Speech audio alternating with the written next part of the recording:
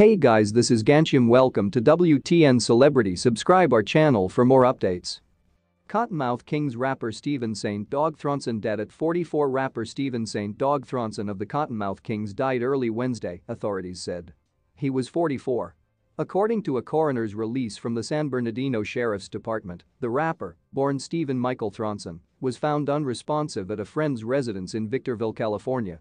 Emergency responders officially pronounced Thronson dead at 12:10 a.m., according to the release. An autopsy will be performed to determine the cause of death, the release stated. We will miss you and your big heart. You were one of a kind in our hearts, our broken, band members wrote in a Facebook post. But we promise to keep your legacy alive through your music. Everyone please take some time and say a few words or tell a story about our fallen brother below. He touched so many, and we will keep his legacy thriving. Born October 21, 1975, Thronson founded the Kottonmouth Kings in 1996 with Dustin D-Loc Miller, Johnny Richter, Daddy X, Lou Dog, and DJ Bobby B, Entertainment Weekly reported. The California-based group combined hip-hop, punk, and rap ad often sang about legalizing marijuana, the website reported. Thronson appeared on four of the group's early releases, Billboard reported.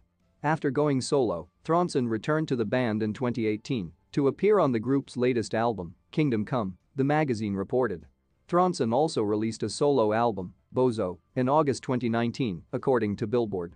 Miller posted an Instagram memorial, writing, Your memories will never fade to black, and your voice will always be with us. A true legend on the mic when he